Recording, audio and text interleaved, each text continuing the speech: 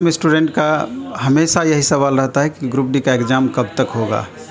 आप खुद भी आप देख रहे हैं कि लगातार ट्विटर कैंपेन वगैरह चल रहा है, लेकिन इस सबसे यही प्रतीत होता है कि गवर्नमेंट जब चाहेगी, तभी आपका एग्ज़ाम लेगी और उनके पास बहाने की कोई कमी नहीं है। कोविड एक बहुत बड़ा बहाना है कि तीसरी लहर कब आ जाएगी, वगैरह वगैरह बहुत सारी चीज़ों को देखना होता है जवाब बोर्ड आपको यही देती है। तो अगर एक तरफ़ से आप मान करके चलिए, हमको जैसा लगता है नवंबर, दिसंबर से पहले उम्मीद कम है कि ग्रुप डी का एग्ज़ाम हो पाएगा।